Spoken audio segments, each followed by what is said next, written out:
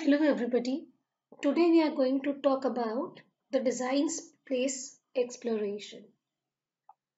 So for the growing complexity of the systems and the shrinking areas, it is well understood that hardware and software design separately leads to the under design system implementations. So the co-design approach is used for SOC design. This is what we understood from the last lecture and one such approach is the function architecture co-design which is based on the ESL design methodology. Okay. So what is now this design space? So let's try to understand uh, this from this point of view. Design space exploration is actually a unique feature of the co-design technology. But before we go on to understand this, let's talk about what is design space. Consider the double roof model we had uh, studied okay, initially for the SOC design. So in that double roof model approach, wherein first it was required that we differentiate between the functional specifications and the architecture model of a design followed by the allocation of resources, binding of tasks, scheduling of tasks, and so on. So this set of all the possible permutations and combinations of what resources are available, what allocations can be made, what bindings can be made, what are the optimized scheduling uh, possibilities.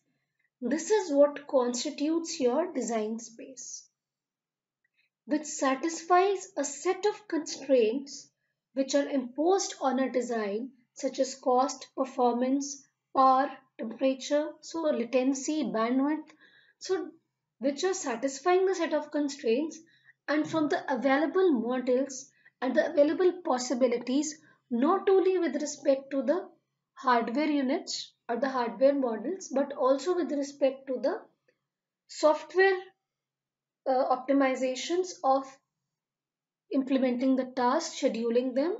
Uh, uh, task scheduling, if you know about the operating system, that is very, very important. Okay. So those things, when we they come together and give us the optimized performance, that is where we are able to finalize our design. Okay. So mapping and evaluating the different models between functional and the architectural things under the given set of constraints and uh, simulating their performance to check whether we are meeting our desired goals or objectives. That is what a design space exploration is.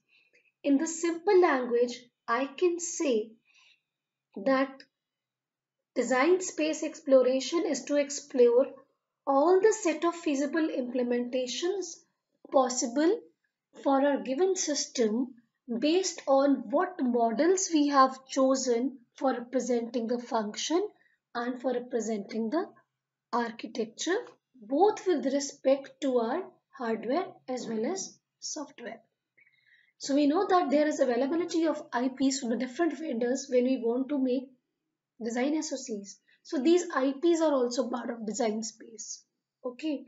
And then map, mapping these IPs to my architectural units and then checking the performance that that is part of DSE that is Design space exploration.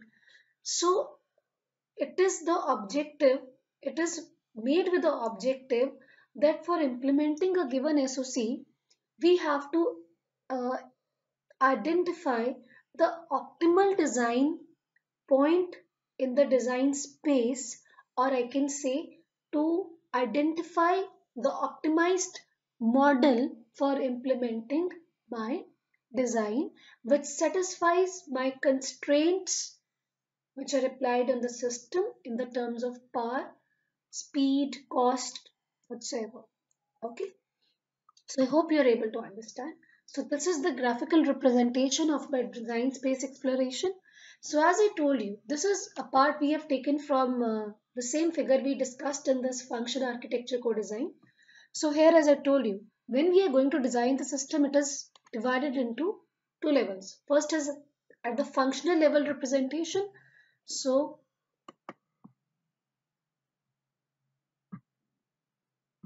this is my functional model which is only from the application point of view both for the hardware and the software and we are making use of the computational models in this. Okay? So it is representing the application requirement or the specification and architecture is nothing but it is representing the platform which is being used for there the system okay and now let's say there are n models for my uh, this computational models which I have for my application and there are m models which are there for my this architecture. So this mapping between n and m and getting the optimized performance that is judging their performance, evaluating their performance. So that is an iterative process which constitutes my design space. So I think we are very clear that design space is nothing but the set of all the possible uh, mappings I should say between my computational models and the architecture models which are there available for implementing my system under consideration. And design space exploration is testing all those for the performance or evaluating and trying to identify which is going to give me the optimized performance for the given set of constraints. And once we are able to identify then we can move to the implementation stage where hardware and software they have to be implemented as a co-design uh, approach okay? So the goal of the design space exploration is to find the best matching between the application and the architecture with based on the well-defined criteria or objectives including the design constraints okay? So it is an iterative process which has the two main phases which is performance evaluation and performance optimization. Okay? So uh, very important two phases of this design space exploration are we have to evaluate a particular mapping between the MOC and MOA okay? And then we are trying to optimize if we are not satisfied we are trying to optimize the thing by changing either partially or replacing it with a new possible model or so on. Okay so the time required for the process evaluation it is uh, you can space say split into two parts. First in developing and describing the design point and the other is evaluating the anticipated design point. So the first thing it it actually defines the modeling efficiency and the second point defines the simulation time so i can just say first we have to develop each of this design point and the other is we have to evaluate. So tools are being used for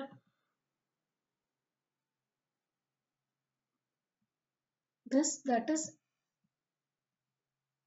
so we are using certain tools for this designing and evaluating okay so I hope we are clear on this So this is another representation of the same thing. So it is an iterative process. There is an application, there is architecture, there is partitioning and mapping of the system that is being evaluated. If it satisfies the requirement it, with the given under the given set of constraints, we stop the exploration. If not, we have to go for the next model of architecture, next model of computation, again do the mapping and partitioning between them, evaluate the performance using the set of tools we are uh, employing and again test the performance and so on. So this is design space exploration. So it represents the different combinations of mapping the parallel hardware and software which is going to be there. Okay. So different ways of interaction. Not only that, it also refers to the different ways of interaction, the different interfaces which are possible between the hardware, software and their configuration. So it refers to the complete system configuration. Okay. So at the system architecture level, uh, the designer can experiment with the different partitioning and mapping schemes also. So it is not only about uh, the employing different models of computation and different models of architecture, but it also refers to, it also encompasses, I should say, the different partitioning and mapping schemes. So they are also part of your design space. Okay. So the designer can regroup the functions in the several ways and map on these to different subsystems. Broadly, if I try to explain, I can just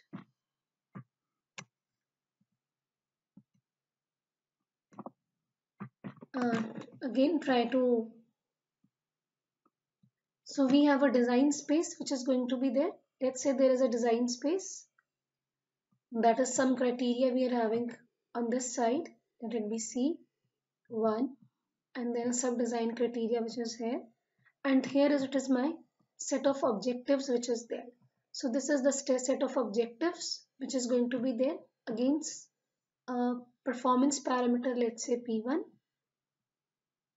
and there is a performance parameter we're going to check here. So we have to perform the mapping between the design space and the objective space. So what is the responsibility is that we are not only exploring, exploring the each design point, we are also evaluating it with respect to the performance parameters. Okay. So this is what your design space explanation is. So it encompasses everything, even the communication protocols, the interfaces. Further, this design space exploration can be spatial as well as temporal. When I say, say spatial, it means binding application to the architecture. It is the design point we are going to develop. Okay. So it defines the possibilities of mapping the task to the processes and communication channels between the task to the communication paths which are available in the architecture. Whereas temporal exploration, exploration it refers to the computation and the communication ordering that is scheduling which is there. Okay, what time division is there, what priorities are there, preemption is there or not. So that is going to be concerned with temporal exploration. So as such design space exploration it is a very very important part of the SOC design and it is the backbone on which your complete design is actually lying. So the system architecture model it is annotated with application and architecture parameters that can influence the performance. Now these parameters they can be specific to the subsystems or they can be specific to the communication units.